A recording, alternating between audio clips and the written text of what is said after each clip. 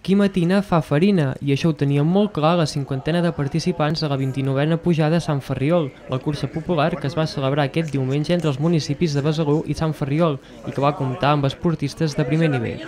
Bueno, sempre m'agrada molt fer aquestes curses de, de per aquí perquè és per on vaig començar a fer una mica l'atletisme i el triatló i se'm fa il·lusió venir a aquesta cursa que mai l'he fet, sempre m'han parlat molt bé i bueno, estem aquí per, amb tots els companys d'entrenos de, per, per venir a fer aquesta cursa, per disfrutar i, i passar-nos-ho bé. La plaça de la Llibertat de Besalú va ser l'escenari de la sortida a les 9 del matí, tot i que mitja hora abans ja havien començat els que feien el recorregut caminant.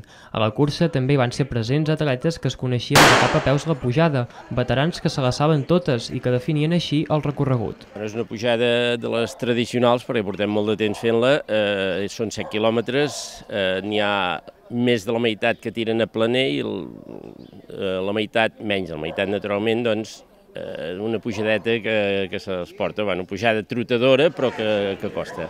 I com no podia ser d'una altra manera, també van ser presents atletes joves que van veure la prova com una oportunitat d'exhibir-se i de córrer amb els millors. Participo a la categoria juvenil i el meu objectiu és intentar guanyar avui a la meva categoria, perquè hi ha una gent molt bona avui aquí i és molt difícil guanyar. Hi ha en Nano Oliveres que crec que guanyarà assegurat i en Roure potser també. I dit i fet, el vencedor en categoria masculina absolut va ser Nano Oliveres, amb rècord de la prova inclòs, per davant de Jordi Roure, mentre que en categoria femenina la millor va ser Cristina Font. En categoria juvenil, Bri Jou i Eva Barti es van endur la victòria. La prova estava dividida en 8 categories diferents.